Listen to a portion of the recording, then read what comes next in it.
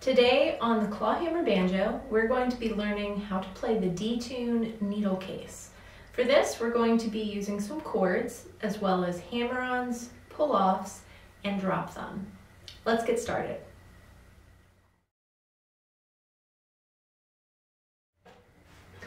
Now, let's put the entire tune through. We're going to play the A part twice and the B part twice, and that's our full tune.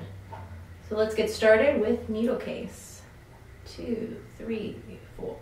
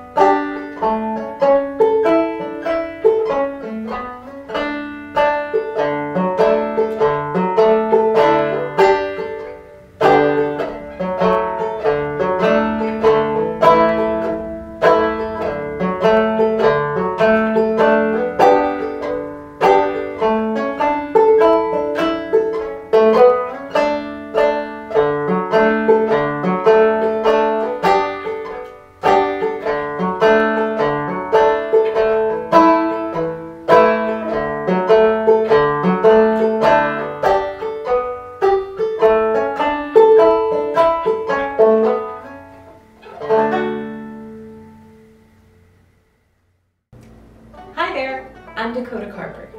If you'd like to learn how to play old time fiddle or clawhammer banjo, join me on Patreon.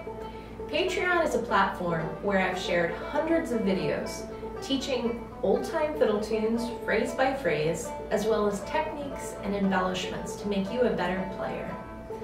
You can also subscribe to me on YouTube, follow me on Facebook, or find out more about what I do at my folk music school in West Virginia called The Cat and the Fiddle. There you can sign up for in-person classes as well as virtual classes.